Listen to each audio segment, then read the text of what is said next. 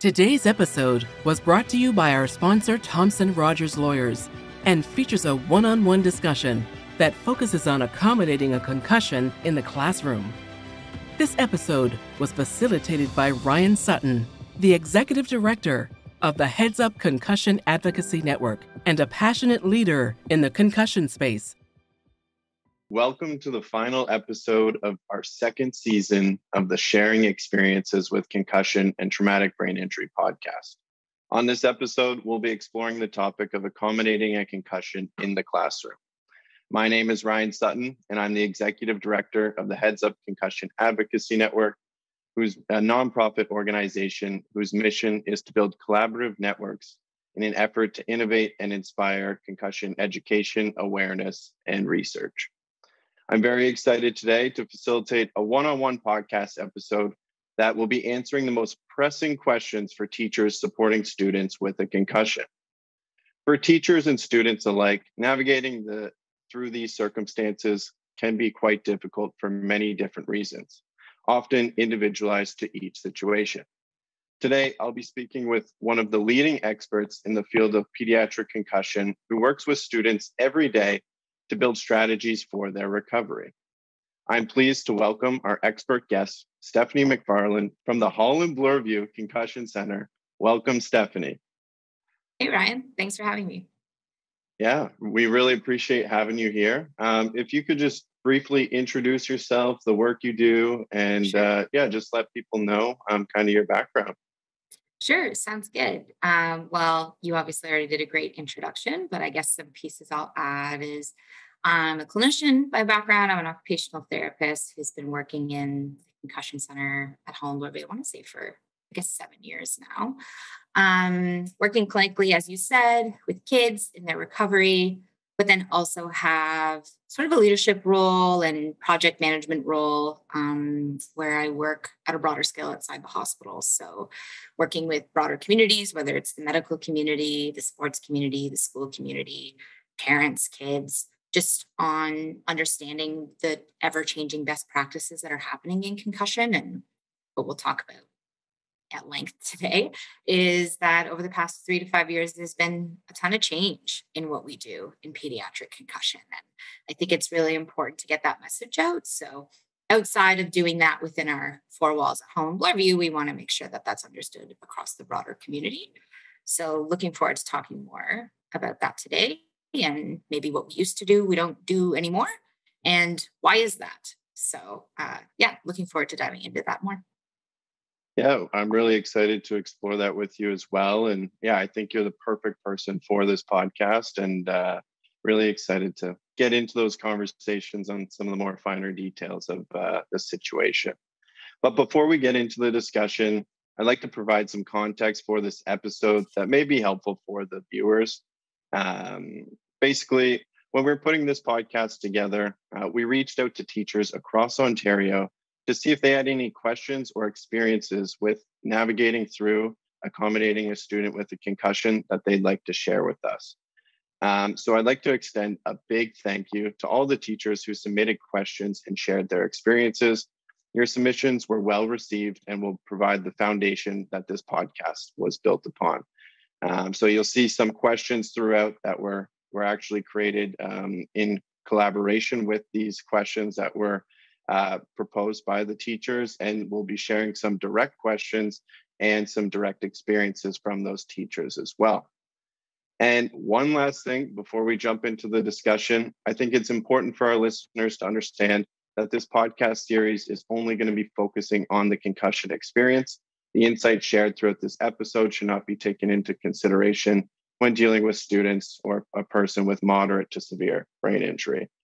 And I think with that, Stephanie, I think we'll get right into it uh, with our first question here.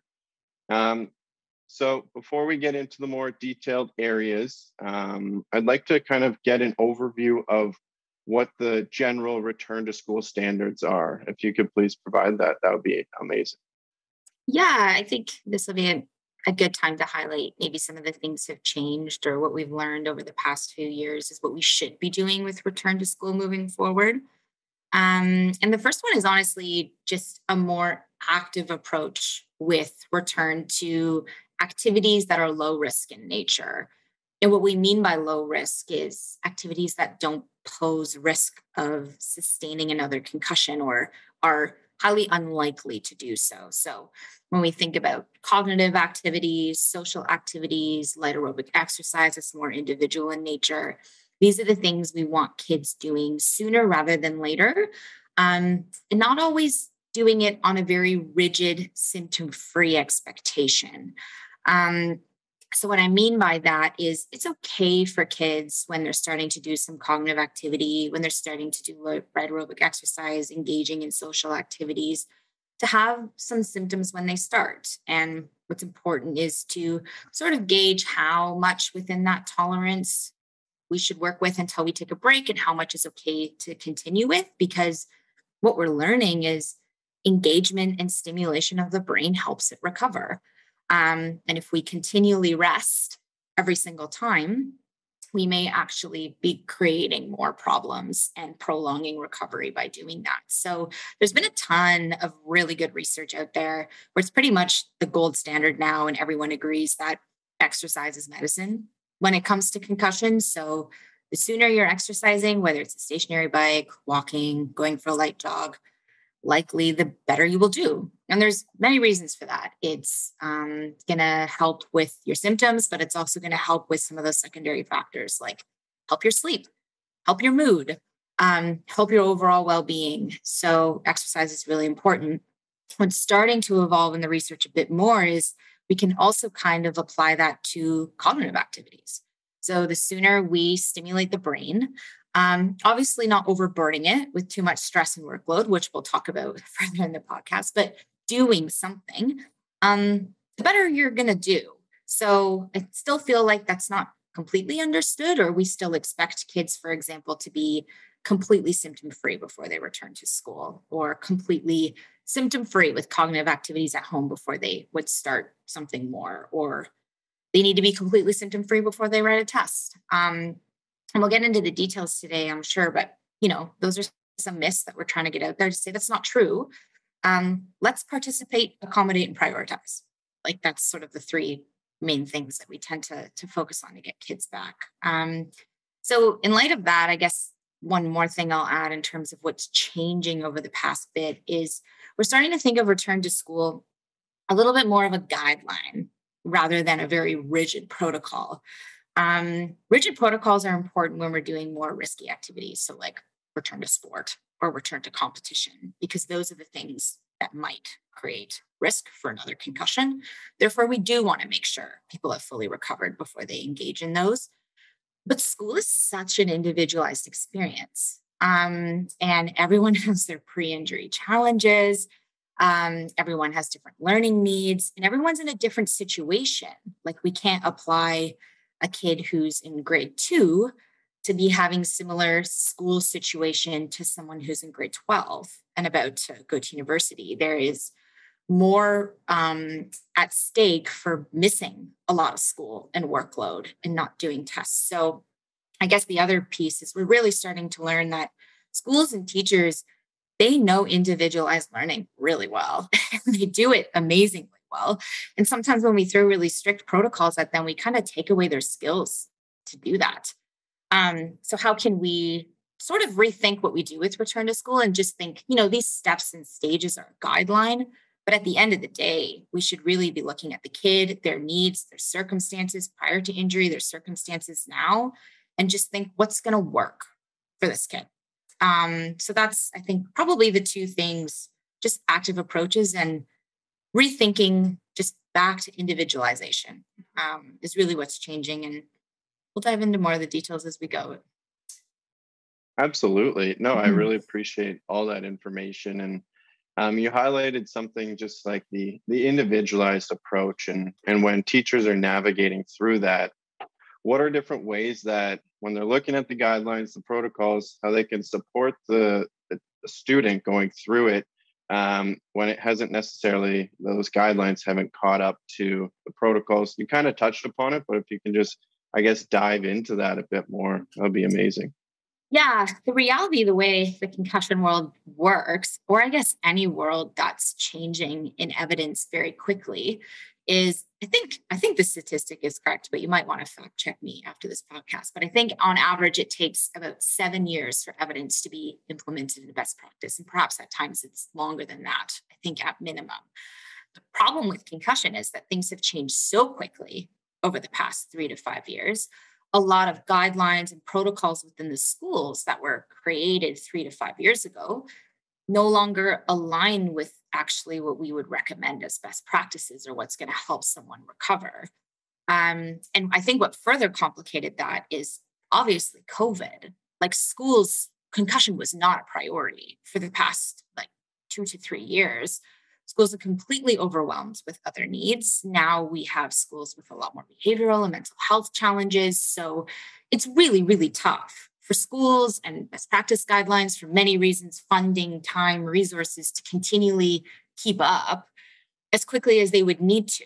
Um, so I think what we need to do is understand that some of the protocols that are in place across school boards or within schools lack some of that language that I just spoke to. So maybe their language is a little bit more rigid in nature, and we want to look at it and maybe loosen it a bit in our minds. So, do you need to be symptom free reading for a specific amount of time before you go back and engage in school?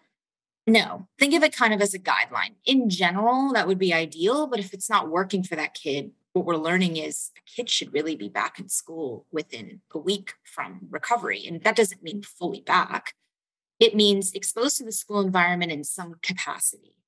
Um, if we wait for everything to be fine or better or perfect until we get back to school, we may prolong the problem. Um, a lot of kids get really anxious when they um, are out of school for a long time. They think about how much work they're missing.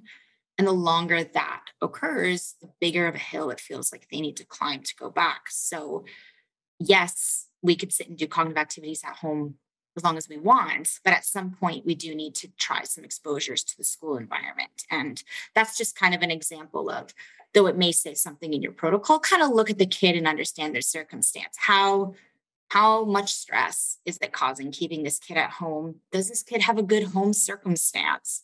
Should we be considering maybe sort of bringing them back sooner than rather than later, even though they still have symptoms, and just accommodate and manage their symptoms within the school environment instead? Um, there's a really good resource, and I'm actually part of the expert panel. It's called the PEDS Concussion Living Guidelines. I'm sure you can link to it in the podcast notes afterwards. But that really is where best practice stands. There's really good resources there for teachers to pick up. So I know it's kind of annoying to have one thing protocol that may say one thing, but then um, the guidelines say something else. I think we just need to look at and say, in general, this is what we want things to look like, but we don't need to follow it like a rule book anymore when it comes to return to learn. And I guess the last thing I would say is there's a lot of, I think, heightened rigidity because of Rowan's Law. So a lot of people feel that legislation applies to return to learn, but that's actually not true. Legislation currently applies to return to sport and physical activity within the school environment, which should have a more rigid piece in nature because of what we spoke to earlier. Those are the things that could create risk for another injury. Um, it's not legislated that you need to follow each stage of a return to learn or return to school protocol. That's kind of left up to you know, best judgment of all of those involved with the kid and what they think would work best for them. Every kid has a right to be accommodated for their concussion. I think that that is one thing we all want to con- commit to, and that those accommodations should be fast acting in nature and supported. But those accommodations shouldn't be restrictions or avoidance of activities. They should always lean towards how, in some way, can this kid participate? I think if we think of it as a general rule of thumb, maybe we can start to make sense of our our protocols but it's confusing. It's the reality of where it is but i think teachers have um, a lot more skill set here than i think we the teachers know how to do this really well. So i think when we take away some of that rigidity a rigid focus um, kids actually do better. They know these kids way better than the medical community knows them. So i guess that'll be my final piece on those inconsistencies. oh, that's great. And mm-hmm. I think, yeah, the having the teachers kind of utilize their skill set, that's something that I know we've talked about a lot. Yeah. And it, it's so important because they are trained. They they know the students. They know kind of how they're interacting. They know their circumstances. So being able to help them kind of weed through the guidelines, the protocols is could be very advantageous for a student's recovery. Um, and you may have mentioned at least one of these, but I'd love if you can just kind of debunk some concussion myths um, sure, relevant to the return to learn process. Let's just dive into those myths. Yeah, yeah. I feel like I've touched on a few, but it's helpful just to yeah. like list them and review them. Mm-hmm. So I think the first one is having symptom free expectations for um, low risk physical or cognitive or social activities. We want to start doing things more as tolerated.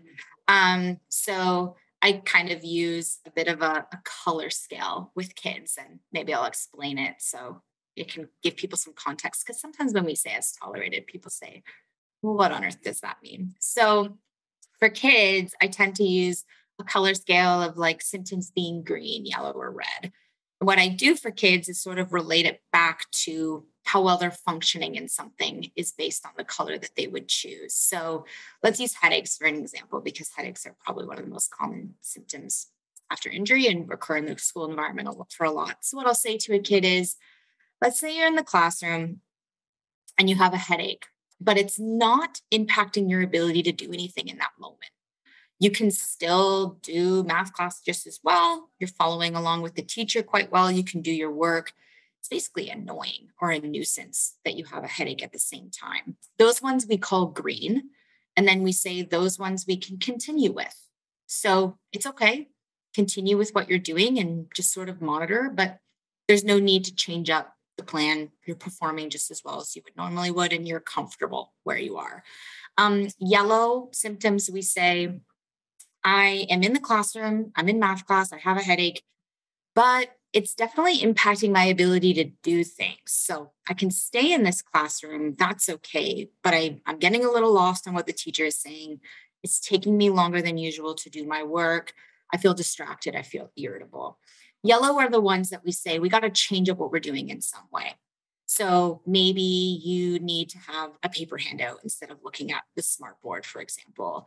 Um, maybe what you're doing, you need to take more breaks you've been doing it for too long. So, sort of revisit what you're doing and change it up. Doesn't necessarily mean take a break from the environment, but some way you need to be accommodated to help you perform in that activity a bit better. And then we say red symptoms are the ones that are so bad, we have to leave the environment. And those are the ones that we encourage kids to have quiet spaces or places within the school to accommodate their symptoms. So it's kind of teaching kids and everyone around them that we can't leave an activity or stop an activity every time we're in the green, it'll be really hard to progress over time and improve our recovery. So that's kind of what we mean by not having a symptom free expectation or treating all symptoms as the same. How much your symptoms impact your performance should then relate to how much we accommodate for them in that moment. So that's what we like to think of for return to school. And that can apply to everything like test writing, homework afterwards, how much we need to accommodate, what's okay, and when we need to break. So that's what we want to move more towards. Um, the other thing, too, that is a common myth I see in schools often is that kids need to completely fully return to all aspects of school before they do any physical activity. It is true that kids should be fully back to school schedule and workload before they're back in competition or game or the final stages of return to sport. But if we limit all opportunities for safe physical activity within the school environment, we might be p- taking away those kids' tools to perform well in cognitive activities. So I have a lot of kids that need to burn off some steam at recess or need to do something to move their body to focus better or to be able to tolerate the classroom a little bit more because we know exercise is going to help their recovery. So we encourage schools and we also encourage the clients and families we work with to find what is that safe amount of physical activity within the school environment you're comfortable with. And usually it means some type of engagement in exercise at recess with their friends, maybe not participating in that full soccer game with their friends at recess, but finding something for them that at least gets them out and being a bit active, being as active as they can outside of the school. And then phys ed is always one of those things. that kind of depends on what the kid is doing. So sometimes phys ed is actually fitness based activities at the time, and it'd be very appropriate for a kid to be doing those types of things. But then obviously, it's not appropriate for a kid still in recovery to be doing like dodgeball, basketball, or volleyball, or something like that. So we always just sort of decide what is it that you're doing within school and what's the right amount of physical activity for you? Because when we limit all aspects of physical activity or what i often see too is keep a kid indoors for recess um, we might be creating more problems by doing that. And when we have increased irritability sadness from that isolation um, just a lack of ability to be active it's hard to know where the symptoms are coming from anymore as as that goes on. So i think that's one of the other myths we really really want to get out there. Um, a few others that are common as well is I constantly see the way uh, we accommodate concussion tends to focus on the environment in the school, which, you know, is good in nature. So, um, a quiet space, for example, maybe the kid would wear sunglasses or a noise canceling headphone or paper handouts. Those are helpful. But honestly, what I find more helpful for kids is accommodating the workload. And I find the workload often gets missed or is completely delayed until they feel better. The number one thing I see that can help kids recover from a concussion faster and just do better in the long term is if we put fast acting accommodations in place, which eliminates the non essential workload they missed. So if they missed a week or two of school or they have missed a couple tests, they're not expected to get caught up on every single one that is, I think, the number one thing that keeps kids from progressing and increases a ton of stress in kids when it's not clearly communicated that they don't have to get caught up on all those things. And then if we just say, don't worry, none of those things matter until you feel better. Well, now the kid is seeing this massive pile of work that they don't think they ever want to get back to because yeah. it's too overwhelming to even think mm-hmm. about. So we tend to more say, let's cut the non essential workload and how do we prioritize what's important that's missed? I usually recommend it's got to be something that's knowledge building in nature. So if you don't learn this material, it's going to be really hard to learn future content. And there's certain mm-hmm. subjects that just build more um, than other subjects. So usually what's most helpful is to have a contact person at school or someone who's going to look at all your workload and make those decisions and communicate with all your teachers because it can be really hard to decide what is the priority in a high school kid's workload. Um, and it's kind of unfair to expect a 14 year old to advocate for themselves on what that should be. Yeah. Yeah. So I think that's one of the more common myths. And then the last one I'll just say is um, a lot of protocols in return to learn right now still have a lot of yes or no rules um, which encourage avoidance of certain activities, which, if you kind of remember what I said from the beginning around not having symptom free expectations, we kind of want to move away from that. So, screens, for example, if screens aren't bothering a kid or they stay within the green, sometimes yellow level with their symptoms, we don't need to completely avoid them. We need to gradually start exposures with those tests. We don't want to have no rules around tests because, again, if we delay all tests to a certain stage, we're going to prolong the recovery. So, what can they start to pick up and work on? Um, the strong no rule we do need to follow is again, feel like I'm repeating myself, but I'll say it again, is the stuff that puts you at risk for another concussion. Those are the things that are a strong no rule. So, like phys ed, sport participation until a child is fully recovered. Everything else should be a little bit looser in terms of individualized based on what the kid is coping with well and what isn't. Otherwise, we might create rules for no reason and actually perpetuate more avoidance in activities that would actually help the kid recover in time. Um, so I think just to reiterate, it's that symptom free expectation, quicker engagement in physical activity, actually accommodating the workload, not just the environment, and moving away from these strict no rules are the common myths or I guess things that have really good intentions, but actually create longer recovering kids we see very often still in schools. Thompson Rogers has been delivering results since 1935 and has evolved into one of the largest personal injury law firms in Ontario. Their personal injury lawyers fight to receive the compensation, support, and care you deserve, from car accidents to bike accidents, from slips and falls to medical malpractice. If you suffered any type of significant trauma, Thompson Rogers is there to help. Visit www.trlaw.com to learn more about the services they provide.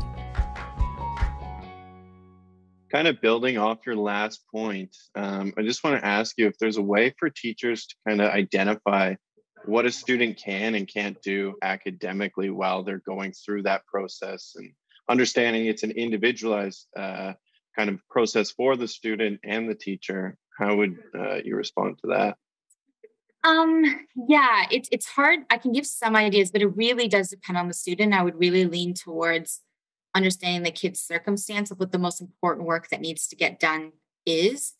We always encourage attendance first. So getting a kid back to the school environment is important before we start to put some workload on them, but we shouldn't wait for a complete full school return before doing any workload either. Like we slowly have to build kids' self efficacy and self confidence by checking things off their to do list to make them feel like they're progressing. That's really important for improving mm-hmm. recovery as well. So, usually, what we tend to say is, like what is what does this kid need to accomplish within the, within the next one to two months for school what are the biggest priorities? That's where we should focus and do whatever we can to get that work done. So even if the kid so i'll give some examples um, kid's attending school well but is having a lot of issues with workload so it's not really the environment that's an issue they're just really stuck in the work.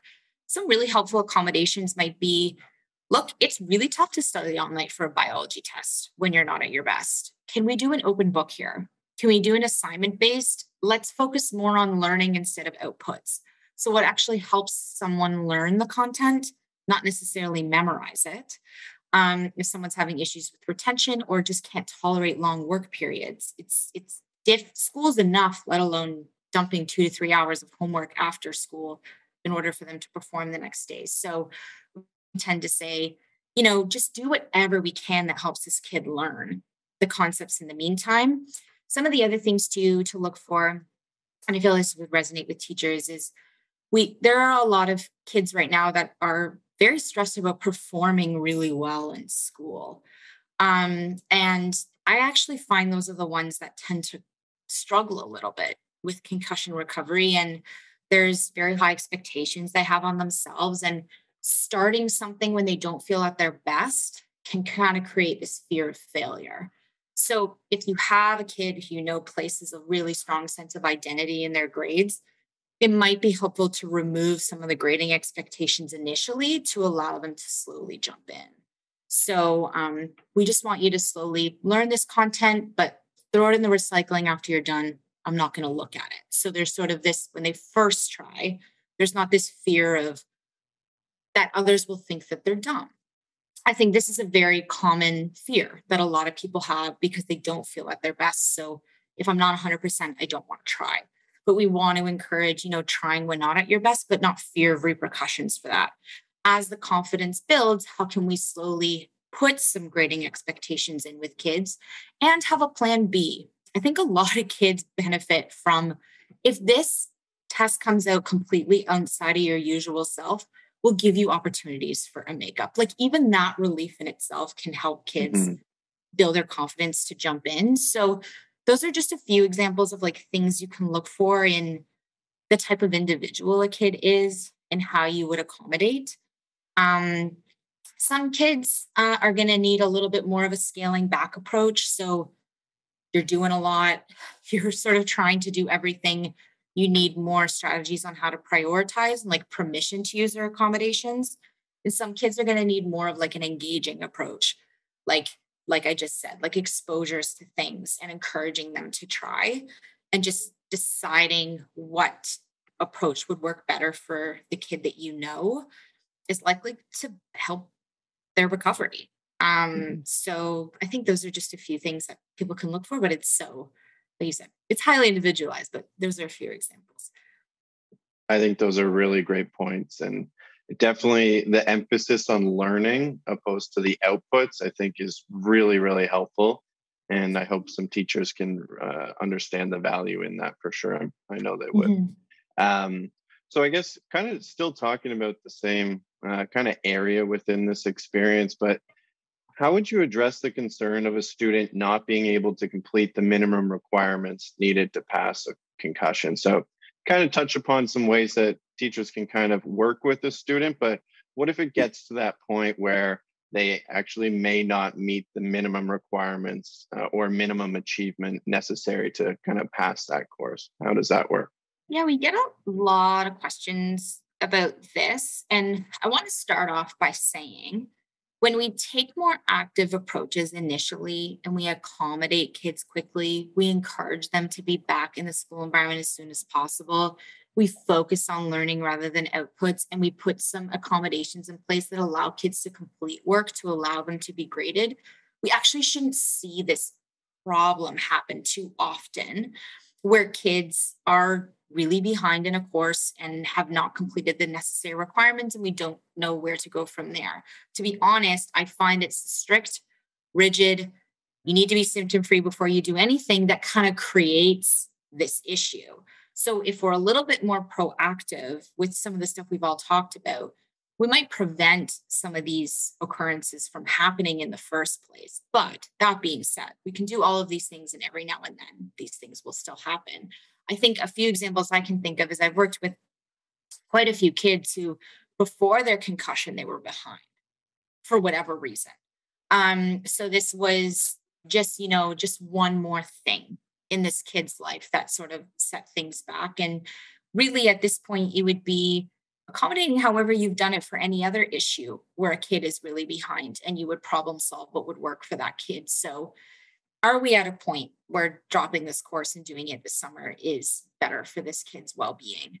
Um are is this course even a kid's priority for their future goals that they want to do? I often find that's a big piece is it's like i was just doing this credit. It actually isn't that important. So it's an easier decision for the ones that are a priority, I just encourage it to, do, to be used exactly the same way it is whenever there's large absences or missed work for any other issue.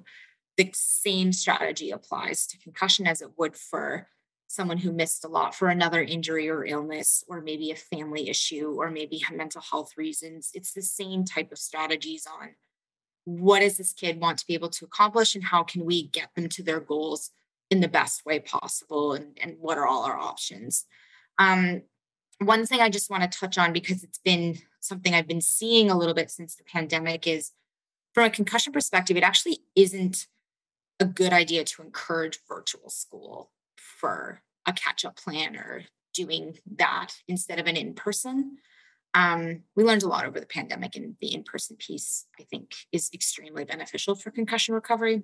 So I just wanted to put that out there that that's not something we would do to maybe support a kid in completing a course. Um, but if it's the only means in which it's offered, of course, whatever's going to work to get the kid what they need in the credit. But I think I just want to say is we shouldn't be seeing these circumstances too often. But the last thing I'll say is right now it's also really unique. Like there are kids right now who, between the pandemic, strikes four years ago, literally never had a regular year of school. Um, and some kids just aren't ready for the next step, as maybe some kids were previously because they lost key developmental like milestones and rites of passage that they should have had throughout their like older elementary or high school experiences. So maybe now more than ever, some people might be taking a few extra courses or taking an extra year before going off to post secondary, and that's okay. And we need to sort of communicate that that's okay. Um, I think we're in a bit of a unique circumstance, which we'll, I know we're going to get into a bit more, where a lot of kids aren't doing well before concussion.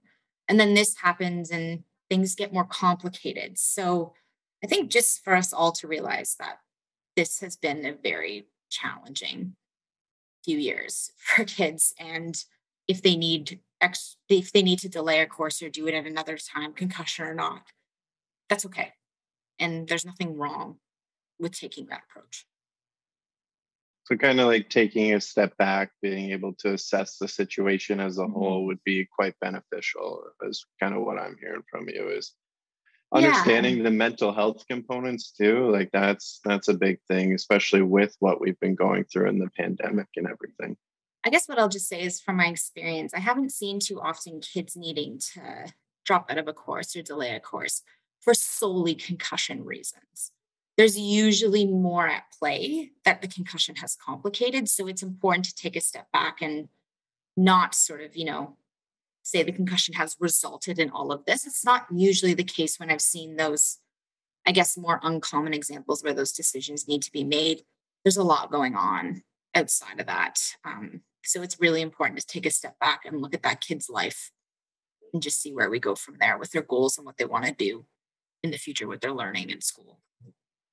Yeah, I really like that. And just making sure teachers are there to support opposed to being there to be like, oh, we got to get this done, we got to get this done is it's kind of another theme I'm starting to notice is being there to ensure the kids are able to progress. And I know all teachers would want that from their students as well. So just making sure that we're always remembering that in the back of everything. Yeah, I think a lot of uh, teachers I've talked to over the past few years have really had to step up to be teachers of life rather mm-hmm. than teachers of content and like hats off to teachers who yeah. have taken on this role because um, it's very challenging and it's kind of root shifted of what we even think of what schools do. And I think over the past few years, they've more been a system of care for kids than they have been a institute of teaching concepts. Um, and it's important to recognize that role, and that applies here as well in everything we're talking about. Yeah. So I guess just kind of say like on the same topic here, and you, we talked about the transition with COVID to kind of virtual learning, how it's not um, necessarily conducive to a student who's sustained a concussion and maybe navigating through that. Um, what factors impact teachers like when they're trying to navigate um, a student who has a concussion in a virtual learning session um, and what complexities should they be considering? Um, I know we've touched on the mental health and everything, but how can they be navigating those the virtual environment and everything with COVID? A little more Yeah, I think over COVID, um, a lot of things were from a concussion perspective were made easier for kids from a, who had concussions, but a lot of things were made a lot harder. So there was kind of wins and losses. Um, I know a lot of schools are sort of moving away from the virtual environment, but the virtual environment still exists for many reasons or hybrid models. I know post-secondary education will probably be like that much more often moving forward than maybe high school and elementary school. Um, I mean, the, the pros of a virtual environment, if again, I'm just going to say I always support an in person environment for concussion recovery, but if virtual mm-hmm. is the only option, these are some things that might work. So the nice thing about virtual is there is easier opportunity for breaks that are slightly less awkward for kids. It's quite awkward to get up and leave your classroom. Um, just to acknowledge that. Yeah, like, it really is. I want to do that. Like it's awkward. Um, yeah. and it makes people uncomfortable. It's easier to do that in a virtual environment. You know, you turn your camera off and there's permission to do that, or take a quick break, keep your headphones in those mini breaks, um, I guess, have less social awkwardness, which is nice and helps. Um, I do find obviously tons of screen time can be some challenging for a lot of people, but we give a lot of strategies for that around like there's like this 20 20 20 rule for eye breaks, um, using things that would actually support the right use of natural light with their screen in the room, and also where they can have paper handouts and just listen whenever possible. It's it's pretty similar.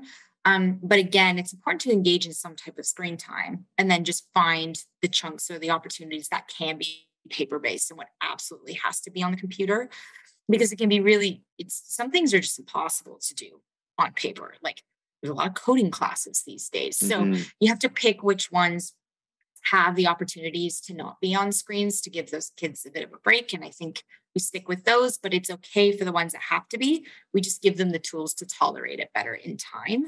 Um, but the reality is for the virtual environment especially for kids who have focus issues prior to injury can be a lot more challenging to learn content, um, stay focused.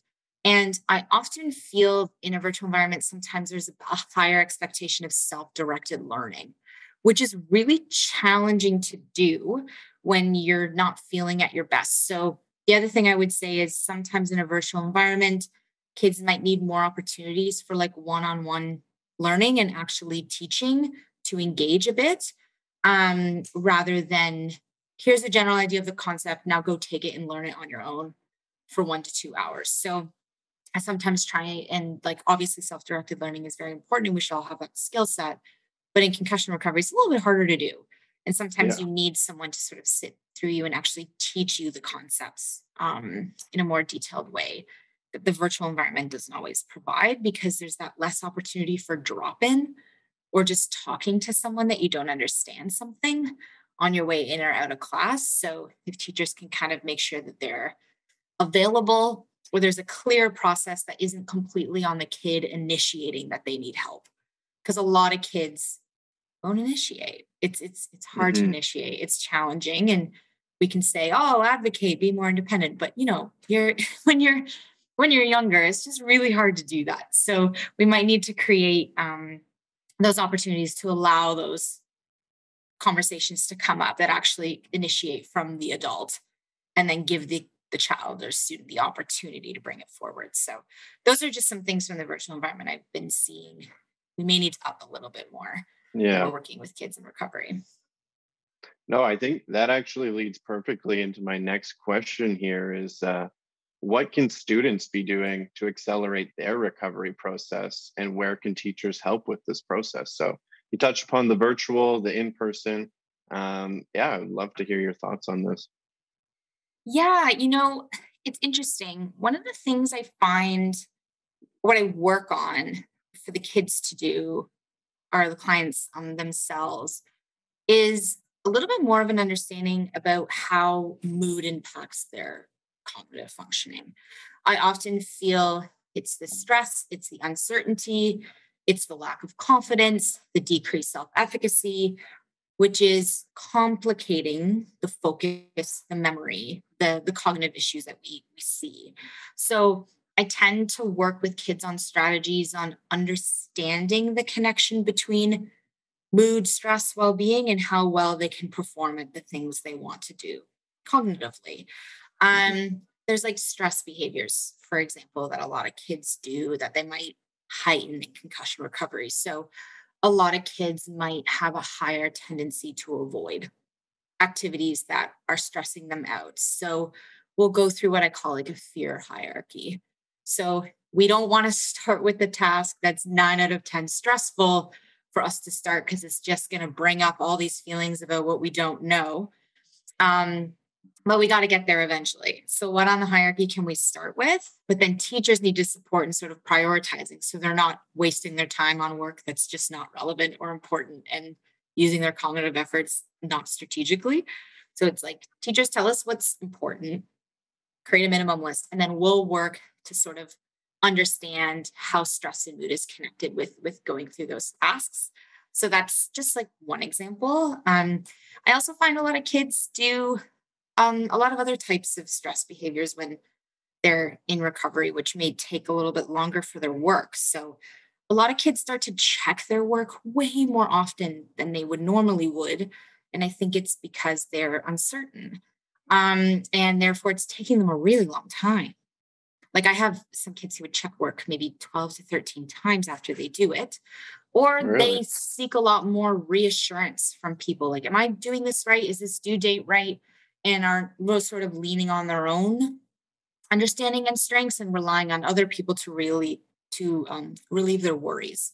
So these are sort of a few themes of some things that i work with kids. And other and then other times it's just creating a schedule for cognitive participation success. So some kids benefit a lot from doing a little bit of exercise before they do cognitive activities some kids need a whole like reawakening of their sleep hygiene like that's really impacting their yeah. ability to um, perform well in school um, you know there's a lot of focus issues but i'm like your sleep schedule is all over the map so it's kind of to be expected or We have some kids who are just trying to cram everything into their schedule still and haven't really picked the priorities that they need to do. So I think the other thing I work on with kids is what time of day is cognitive activity going to be very successful for you? Um, what else is going on in your life that's complicating the picture? And making sure their demands and resources match. Because sometimes there's way more demands than they're currently able to do with the time. So it's not avoiding things necessarily, because I never want to fall into a theme of completely avoiding things, but it's just what's important to you in your life right now and what can maybe go or what can we maybe hand off for someone else to do at this time. A lot of kids I work with too are part of like 15 committees and like a lot of like different extracurricular activities and they still want to do all of it and they will they'll get back, back to all of it but for a time period um, sometimes it can create a lot of noise in our minds and it's it's hard to focus because we we are so overwhelmed by all the things we do that that's actually creating a bit of distraction our ability to focus on our school efforts. So maybe that gives you a few examples of what we work on at a individual level with the kids um, and sort of like what they take on to support their recovery. Um, but it's only as helpful as the accommodations that they have and the priorities that are helped set for them in their workload. Otherwise, they're taking on a part-time job, talking to each teacher, asking yeah. what the priorities are, mm-hmm. and um, gets more complicated. So Mm-hmm. Yeah, no, I'm I'm starting to see even more similarities between like just setting priorities, whether it be from a teacher's perspective, a student's perspective, yeah. maybe even a parent's perspective, but being able to set those priorities, understand what is most important in this recovery for you to be doing. As you mentioned, such busy schedules for students, right? They have so many things on the yeah. go and including their social lives as well. So um, just navigating through it um, can be a challenge for sure. So I guess. I'm sorry, yeah, I'm just going to add one yeah, more thing, ahead. just based on what you just said. I think it's important to highlight, and it's that I think a lot of kids fall in, especially when they're behind in school and recovery, they fall into this pattern of feeling guilty whenever they're not doing school stuff. Really and yeah. it's it's really important to remember that like exercise and social activity and the right amount of sleep is as important as school functioning um, and helping people understand that those things are as important in their life in recovery um, takes a bit of time. So sometimes when we're setting priorities, everyone's priorities are going to be a little bit different. But I think it's really important that we all agree when it comes to kids, concussion or not, they should have some type of meaning or priority outside of school. Mm-hmm. And if mm-hmm. they don't, um, that's a problem right? Like that's a problem. So I think that's the one thing I'm, another thing I find that I have to work with is almost giving kids permission to say it's okay to take 30 minutes for social activity. You don't need to feel guilty that you're not studying. So, sort of that theme of work smart, not hard. Yeah. that makes sense. But that takes a lot of maturity and time to discover. We all went through it, right? We do it in our own mm-hmm work days every day as adults where we revisit what we're doing and am I being productive in this time? Would I be more productive if I took a bit of time for myself and then tried this thing? But kids are learning that. And that's especially when they're teenage years, they're just starting to learn that skill set. But concussion can really make you completely dive into a school like tunnel focus and think nothing else matters. Um, so I think that's just the last piece. I think it's important what you said, and that we need to help realize that other things in life are just as important. And you have an identity outside of being a really good student with good grades. You have more yeah. to offer to the world. Um, and remind yourself of that in your strengths in other areas of your life by living your life in other areas.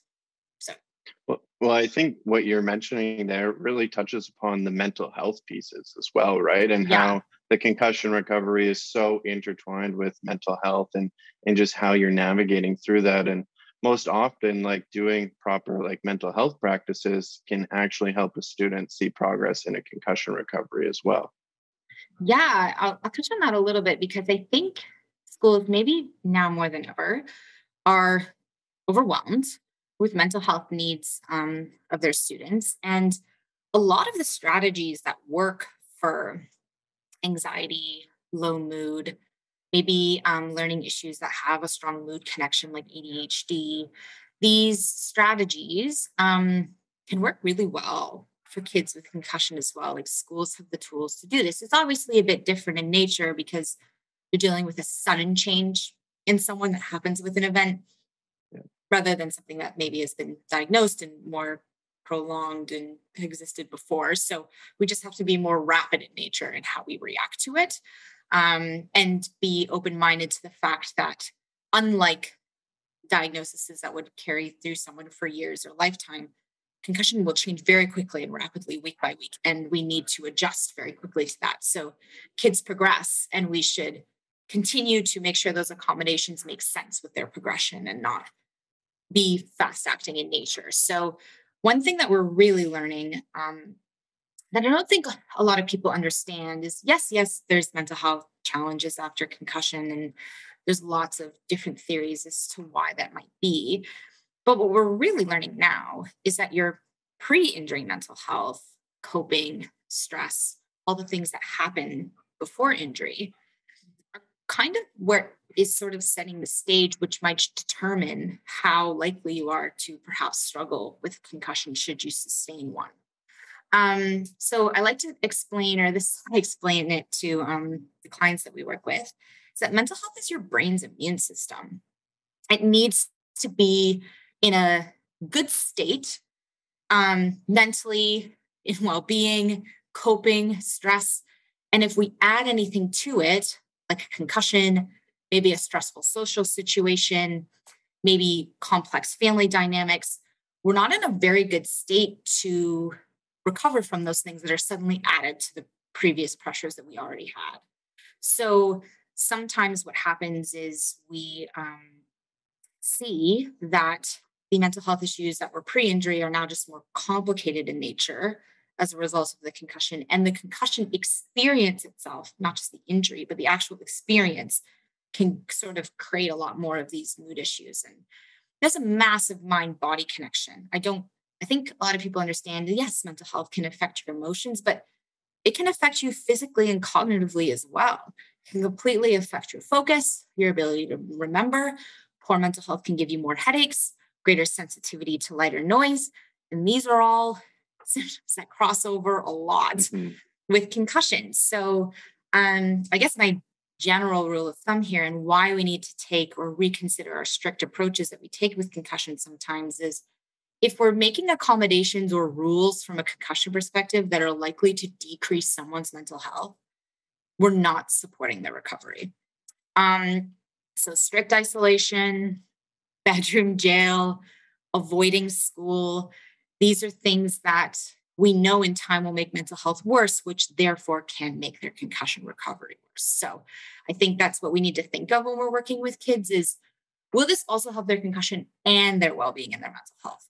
If we're only doing it for the sake of concussion, we might want to ask ourselves questions because it might, with really good intentions, do the opposite of what we wanted.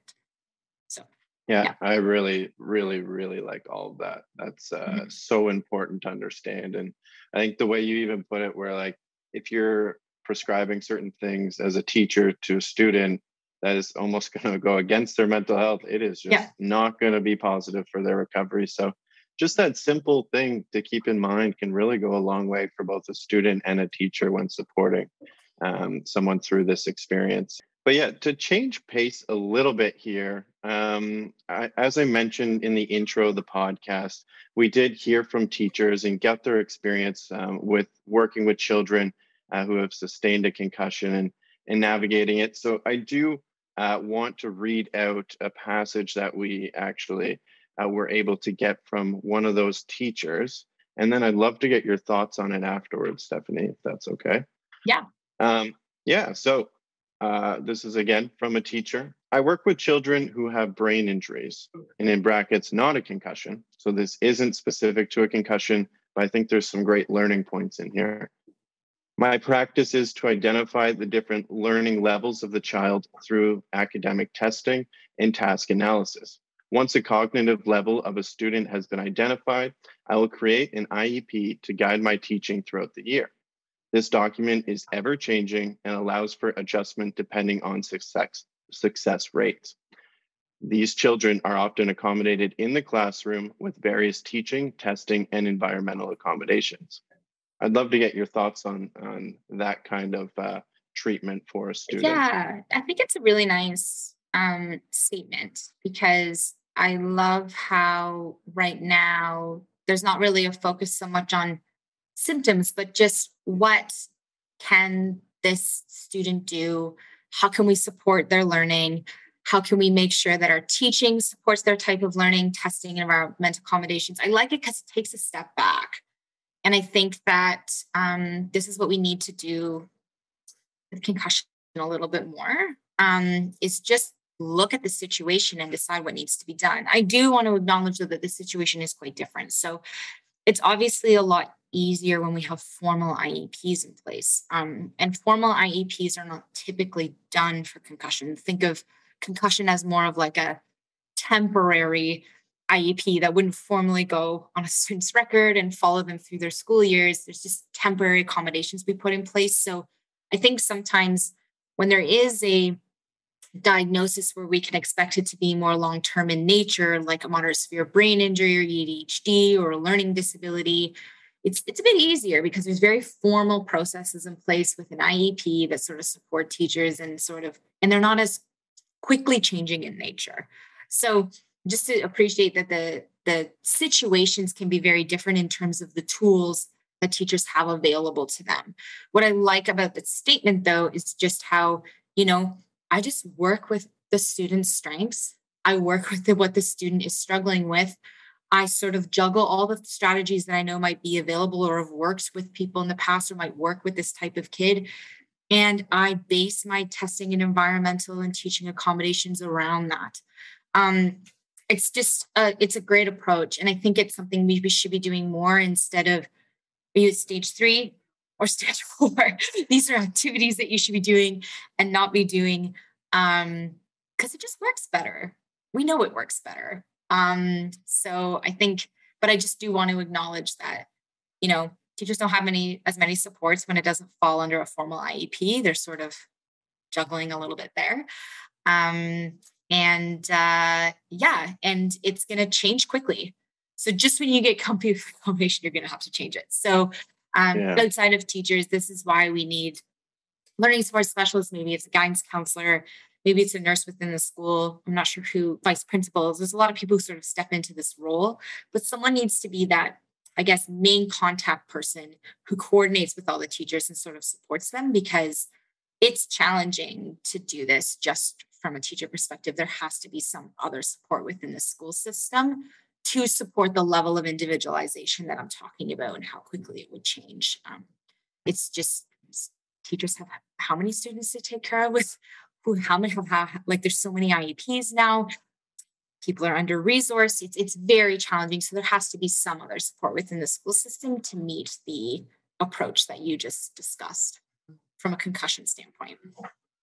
Yeah, and another question, a direct question from one of the teachers, which builds off this actually quite well, is when working with children with special needs, I create an IEP that informs my teaching, as we, we just saw there. Is there a framework to follow for teachers who have a child with a concussion? Yeah, so eh. I think the best frameworks we have these protocols, which may or may not align with some of those individual needs. I guess what I would say is a lot of the frameworks that we use for anxiety, ADHD, those types of accommodations that help kids progressively become more active within their schooling and make reasonable like workload modifications are your frameworks and tools which already exist which are likely to support really well we just have to be more rapid access in how we put them in place you're going to get less direction from the medical community on them because there isn't sort of as much formality to it um, and we have to be willing and flexible to change them week by week.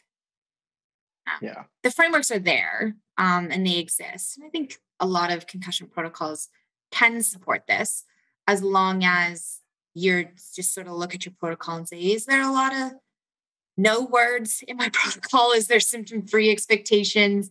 Those are the ones we want to loosen a bit and more lean towards the ideas of the accommodations that the protocols present.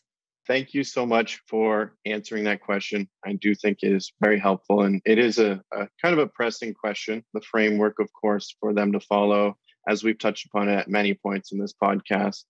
Um, I guess one thing, a question I do have for you, as we know, teachers are like amazing at uh, helping students learn and progress in their lives.